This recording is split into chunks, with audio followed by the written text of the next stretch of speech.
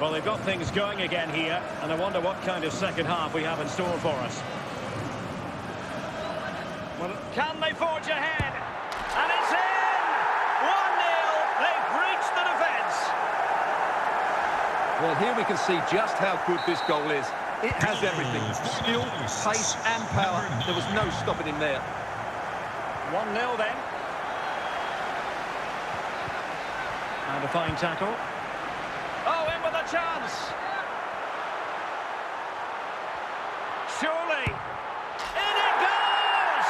Two goals in rapid-fire fashion and looking very comfortable here. So back underway with the scoreline standing at 2-0. Now what can they do from here? And in with a real chance. A goal! They're absolutely racing away with this. Three to the good now. Well, he wasn't going to waste this chance. 1v1 against the keeper, and he slots it away with great confidence. That's a good finish.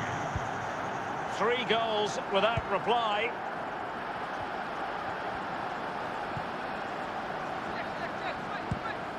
Committed challenge. Martinez.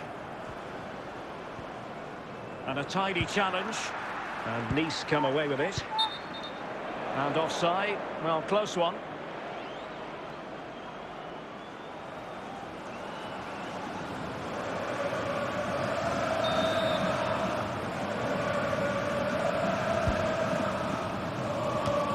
Well, nicely cut out. Now what can they do with the ball?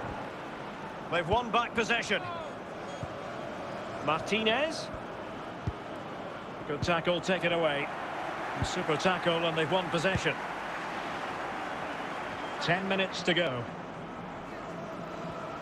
He's in behind. And not cleared away properly. Big chance it is. And a little too close to the keeper in the end.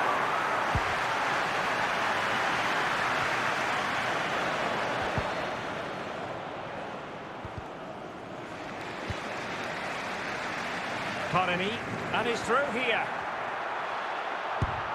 A goal! How about that? He's put it away to make it a hat-trick. Well, as you can see, he gave the keeper no chance there. He looked so confident, didn't he? That's a cool finish. And this is turning into something of a rout. 4-0. He's in with a chance.